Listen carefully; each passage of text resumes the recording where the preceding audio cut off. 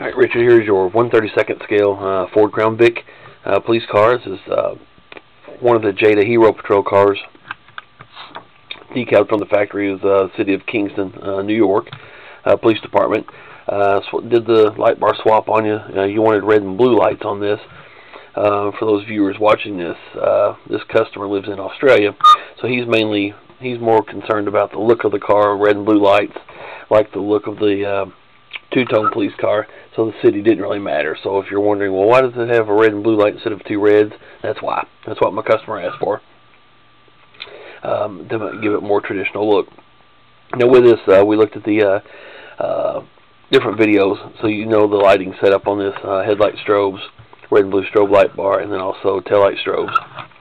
Went and add a couple of antennas on there. I'll include those in a little bag. They'll be uh, stapled inside the box there. When you pull the car out on the little tray it sits on, you'll see those stapled to the back.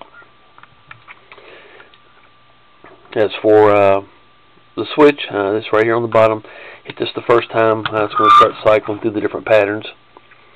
Uh, you see a simultaneous flash and a couple different strobe patterns as well. Uh, headlights, light bar, and tail lights all on the same uh, setup. If you hit this again,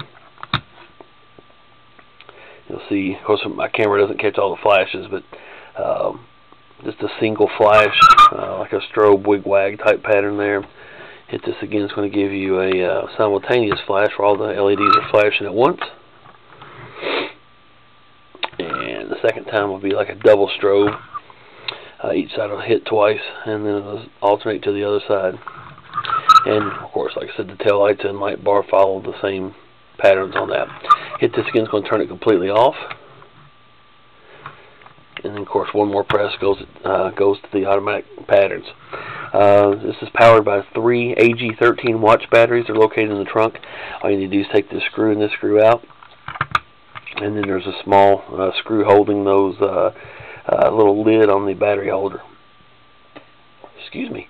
And you'll have to uh, take that screw out and replace the batteries. I'll leave these in here and also uh, add a couple sets to the box so you'll have uh, batteries for it when you can get it so you can put it on your race set or stock car set.